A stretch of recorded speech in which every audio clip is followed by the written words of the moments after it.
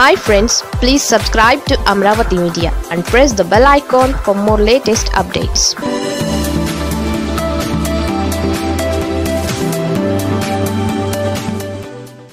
Chandrababu మహానాడులో జగన్ ఢిల్లీలో చివరికి టీడీపీ ఆశలు గల్లంతు.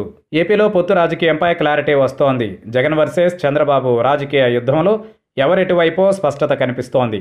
పవన్ కళ్యాణ్ టీడీపీతో పాటుగా బీజేపీతో పొత్తు ఖాయమని ధీమాగా చెప్పారు.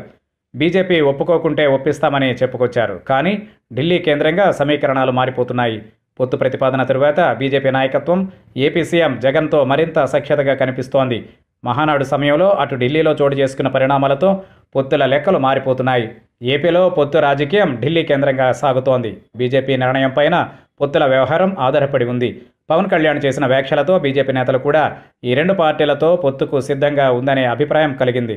కర్ణాటకలో బీజేపీ ఓడిపోవడంతో తెలుగు రాష్ట్రాల్లో పొత్తుకు అనుకూలంగా నిర్ణయం తీసుకుంటుందనే విశ్లేషణలు వినిపించాయి. కానీ ఢిల్లీ నుంచి దీనికి భిన్నంగా సంకేతాలు అందుతున్నాయి. ముఖ్యమంత్రి జగన్ సుదీర్ఘకాలంగా కేంద్రం వద్ద అభ్యర్థిస్తున్న అంశాలను ఈ మధ్యకాలంలో వేగంగా ఢిల్లీలో క్లియరెన్స్ లభిస్తోంది. అదే సమయంలో ముఖ్యమంత్రి జగన్కు బీజేపీ పెద్దల వద్ద ప్రాధాన్యత పెరిగినట్లు స్పష్టంగా కనిపిస్తోంది. నూతనంగా నిర్మించిన పార్లమెంట్ ప్రారంభోత్సవానికి బీజేపీ ముఖ్యుల నుంచి ఏపీ సీఎం జగన్కు ఆహ్వానం అందింది. అదే సమయంలో ప్రధాని పార్లమెంటు ప్రారంభించడం పైన వివాదం మొదలైంది. ప్రతిపక్షాలు మూకుమ్మడిగా ఈ కార్యక్రమాన్ని బహిష్కరించాలని నిర్ణయించాయి. ఈ సమయంలో సీఎం జగన్ చేసిన ట్వీట్ జాతీయ స్థాయిలో చర్చకు దారితీసింది. ప్రధాని మోదీని అభినందించారు. ప్రతిపక్షాలు పార్లమెంట్ ప్రారంభోత్సవానికి హాజరు కావాలని కోరారు. సీఎం స్వయంగా పార్లమెంట్ ప్రారంభోత్సవానికి హాజరయ్యారు. అమిత్ షాతో సహా కేంద్ర మంత్రులతో సమావేశమయ్యారు. పార్లమెంట్లో తొలి వరుసలో జగన్కు సీటు కేటాయించారు. ఇవన్నీ చూసిన తరువాత టీడీపీ జనసేనకు బీజేపీ నేతలు ఏం సంకేతాలు ఇవ్వాలనుకుంటున్నారో స్పష్టత వచ్చింది. బీజేపీ తమతో కలిసి రాదని దాదాపు టీడీపీకి అర్థమైంది. మహానాడు సమయంలోనే పార్టీలో ముఖ్య నేతల మధ్య ఢిల్లీ పరిణామాలపై చర్చ జరిగింది.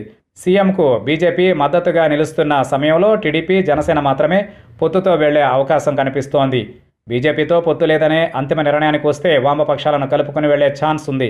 బీజేపీతో ప్రతిపాదన చేసింది పవన్ కావడంతో ఇప్పుడు పవన్ మరోసారి బీజేపీతో చర్చలు చేస్తారా? లేక బీజేపీ వైఖరి కారణంగా ఇక టీడీపీతో కొనసాగాలని నిర్ణయిస్తారా అనేది ఇప్పుడు పవన్ నిర్ణయించాల్సి ఉంది.